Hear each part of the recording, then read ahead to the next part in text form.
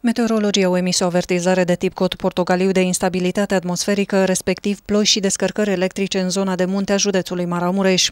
Avertizarea este valabilă de astăzi și până mâine, 30 iunie, la ora 6. În zona de munte a județelor Maramureș și Bistrița Năsăud, temporar va ploua abundent și se vor acumula cantități de apă de 40-50 de litri pe metru pătrat și pe arii restrânse 60-70 de litri pe metru pătrat. În același timp, în restul județului, avertizarea de tip cod galben de ploi și instabilitate atmosferică se prelungește până duminică 1 iulie la ora 6.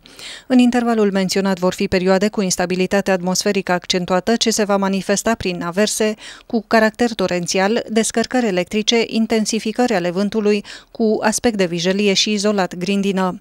Prin acumulare sau în intervale scurte de timp se vor înregistra cantități de apă de peste 25 de litri pe metru pătrat și izolat 40-50 de litri pe metru pătrat. Institutul de Hidrologie și Gospodărire a Apelor a emis de asemenea o atenționare de tip cod galben de inundații pe mai multe râuri din țară, printre care și cele din județul Maramureș, Tisa, Vișeu, Iza, Tur, Lăpuș, Someșul Mare. În acest context au fost informate comitetele locale pentru situații de urgență care vor pune în aplicare un set de măsuri în vederea gestionării eventualelor situații de urgență ce pot apărea. Polițiștii maramureșeni îl caută pe bărbatul din imagine după ce acesta a fost reclamat dispărut. Boniș Ioan Tiberiu este din municipiul Baia Mare și are 66 de ani.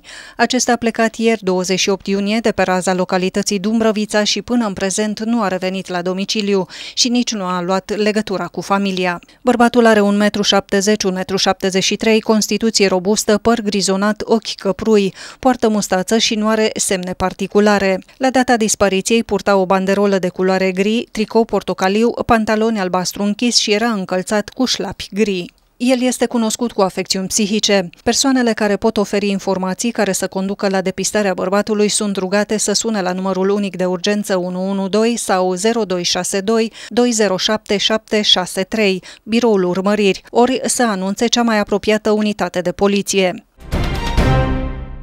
Absolvenții clasei a 8 -a și părinții acestora asistați de diriginți vor completa opțiunile în fișele de înscriere pentru admiterea la liceu până în 3 iulie. Vor parcurge aceeași procedură și absolvenții clasei a 8 -a care doresc să fie admiși în licee din alt județ, anunță Ministerul Educației. Verificarea de către părinți și candidați a fișelor, corectarea greșelilor în baza de date computerizată și listarea fișelor corectate din calculator sunt prevăzute în intervalul 30 iunie-4 iulie. Ministerul Educației recomandă completarea fișei cu un număr suficient de opțiuni pentru a evita situațiile nedorite. Depunerea dosarelor de înscriere în unitățile de învățământ liceal în care candidații au fost repartizați se va realiza între 10 și 13 iulie. În perioada 16-18 iulie, Comisia Județeană de Admitere va rezolva toate cazurile speciale apărute după etapa de repartizare computerizată, dar și situațiile candidaților care nu și-au depus dosarele de înscriere în termen și ale candidaților candidaților care nu au participat deloc sau au participat,